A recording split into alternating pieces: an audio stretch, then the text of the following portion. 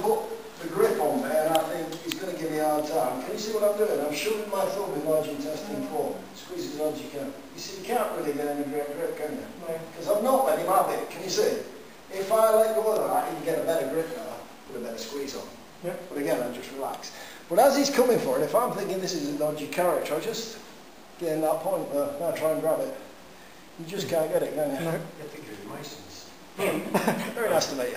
Alright, so see, stop it there, just be it. So, so I saw, I've this one here. I've gone from there to there. Us.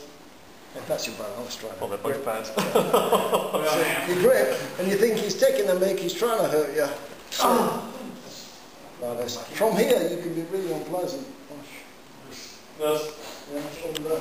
Give it to him. Hands up. Shake your hands, wash, under, through, under his neck.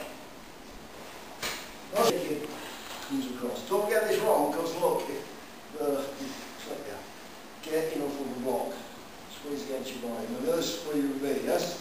This could come in as a bit of a store, pull him in, lock him up, very ability, yeah? So that's first part of the tricks. I know I hate for these, but try that one, yes? Or, uh, yeah, it's just that you're friendly. If you it too long, you're going, yeah, yeah, yeah. Want to let go, you just slip your hand down, take your little finger, down he comes. Okay, very, very simple.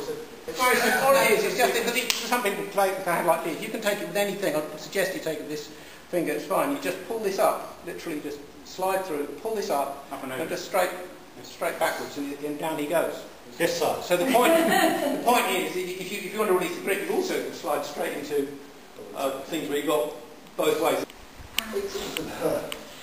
Underneath there.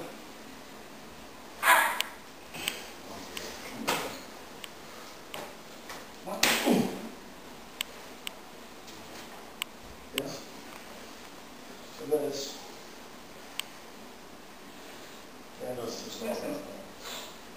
And uh, where's that from?